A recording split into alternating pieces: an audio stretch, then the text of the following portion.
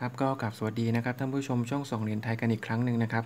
วันนี้เรากลับมากันในเหรียญนี้นะครับ ซึ่งเป็นเหรียญที่ท่านผู้ชมรู้จักกันดีนะครับ แต่ว่า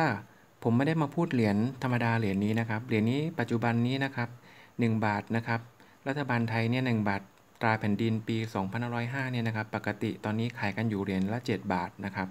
ก็อันนี้ให้ท่านผู้ชมทราบไว้นะครับ ถ้าสภาพผ่านใช้แบบเนี้ยนะครับเหรียญละ 7 บาท เนาะแต่ว่าวันนี้เราไม่ได้มาพูดถึงเหรียญธรรมดาบล็อกธรรมดาเหรียญนี้นะครับ เรามาพูดถึงบล็อกที่เป็นบล็อกตำนานนะครับ ที่ท่านผู้ชมหลายท่านก็คงเคยเห็นมาก่อนนะครับ แล้วก็เคยรับทราบข้อมูลมาก่อนนะครับ ผมเองเมื่อเข้ามาในวงการเนี่ยก็คือหลายปีที่แล้วนะครับ ก็เข้ามาด้วยเห็น YouTube เหรียญนี้แหละนะครับ ซึ่งผมก็เห็นเหรียญนะครับตาแผ่นดินเนี่ยที่มียอดมงกุฎชี้ไปตรงยอยักษ์เนี่ยนะครับ แล้วผมก็สนใจ นะครับ แล้วผมก็เลยกลับไปหานะครับเหรียญเนี้ยในเขาเรียกว่าในกองเหรียญของอากงของผมเนี่ยนะครับ ดูซิว่ามีไหมปรากฏว่าไม่มีนะครับ ซึ่งก็แน่นอนอยู่แล้วว่ามันไม่มีมันเป็นไปไม่ได้ เพราะว่าเหรียญนี้นะครับที่ยอดมงกุฎชี้ตรงยอยักษ์เนี่ยเป็นเหรียญตัวอย่างนะครับ เป็นเหรียญตัวอย่างที่ไม่ได้ออกมาหมุนเวียนหรอกใครจะหาเจอนี่คงเหมือนกับถูกลอตเตอรี่นะครับ โอกาสเจอเนาะทีนี้ แน่นอนผมมีเหรียญที่เป็นเหรียญตัวอย่างมาฝากนะครับ อ่า ซึ่งเป็นเหรียญของผมเองนะครับ ซื้อมาหลักแสนนะครับ อ่า ซึ่งก็เป็นหลักแสนจริง ๆ ไม่ได้ไม่ได้โกหกนะครับ ร้านรับซื้อเองก็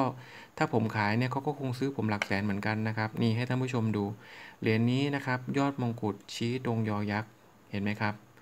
ชี้ตรงยอยักษ์ เหรียญเนี้ยแสนกว่าบาท ผมซื้อมาแสนกว่าบาทจริง ๆ นะครับ ตามที่ร้านรับซื้อบอกเลยนะครับท่านผู้ชมจะเห็นว่ามันต่างจากบล็อกแบบนี้ใช่ไหมครับ บล็อกแบบนี้นี่คือยอดมงกุฎชี้ระหว่างยอยักษ์กับพอพานใช่ไหมไม่ตรง แล้วก็ลองดูด้านด้านที่เป็นด้านด้านหัวนะครับ หรือด้านหน้า เห็นไหมครับว่าด้านหน้าจะเป็นแบบนี้ ถ้าเป็นเหรียญปกติ แต่ว่าถ้าเป็นเหรียญนี้เหรียญนี้นะครับ จะต่างกันเลยครับ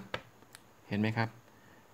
ต่างกันเลยเหรียญนี้จะเป็นอีกแบบหนึ่งเลยนะครับ ด้านด้านที่เป็นด้านด้านหน้าเนี่ยนะครับเห็นไหม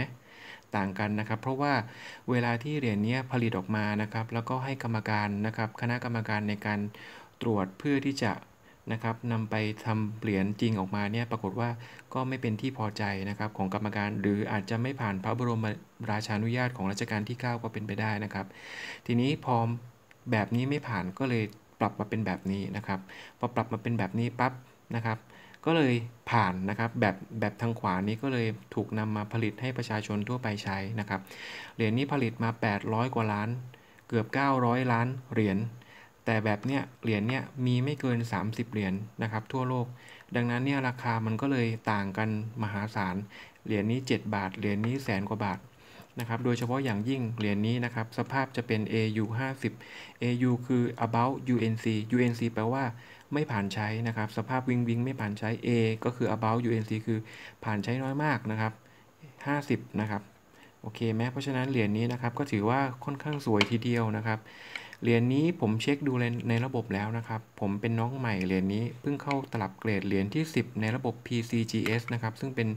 บริษัทต่างประเทศที่ได้รับความน่าเชื่อถือระดับโลกนะครับนะเพราะฉะนั้นเนี่ยเหรียญนี้เป็นเหรียญที่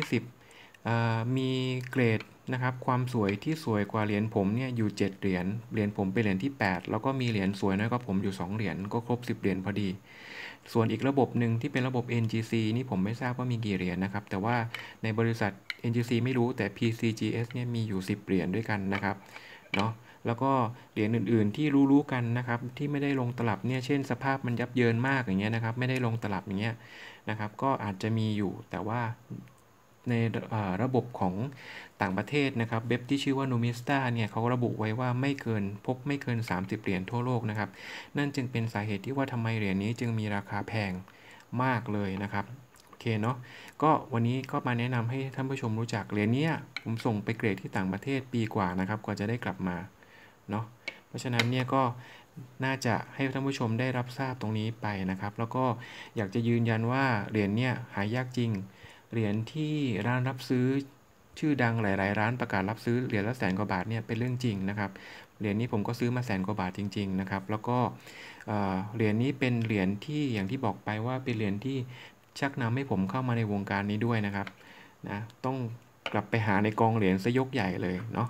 โอเคนะครับถ้างั้นก็ฝากท่านผู้ชมตรงนี้ไว้นะครับ ถ้าชอบนะครับคลิปของเรา เดี๋ยวเราจะแนะนำเหรียญแปลกๆนะครับ หรือว่าเหรียญที่หายากให้ท่านผู้ชมได้ฟังในคลิปต่อๆไปนะครับ โอเคเนาะดังนั้นก็ขอบพระคุณมากครับที่รับฟังนะครับ ขอบพระคุณครับ สวัสดีครับ